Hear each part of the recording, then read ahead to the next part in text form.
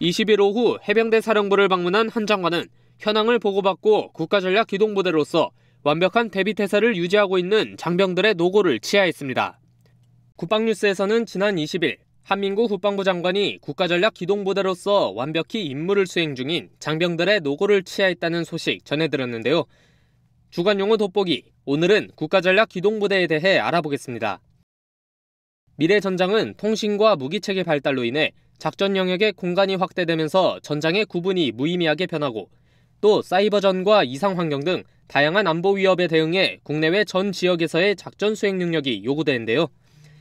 국가전략기동부대는 이런 상황을 극복하기 위해 다목적 임무 수행 능력을 갖추고 입체적으로 통합 전투력을 발휘하며 기동성과 투사 능력을 갖춘 부대를 말합니다. 국가전략기동부대의 임무는 평시와 전시로 구분됩니다.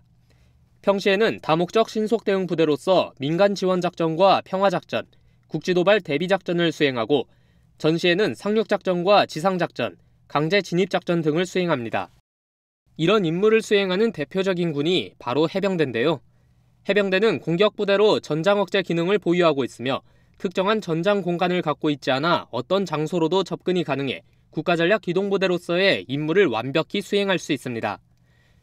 또 연합훈련과 전지훈련 등 다양한 작전 환경 경험으로 시시각각 변화하는 작전 환경에 신속히 대응할 수 있는 장점도 있죠. 나는 국가전략 기동부대 일원으로서 선봉군임을 자랑한다.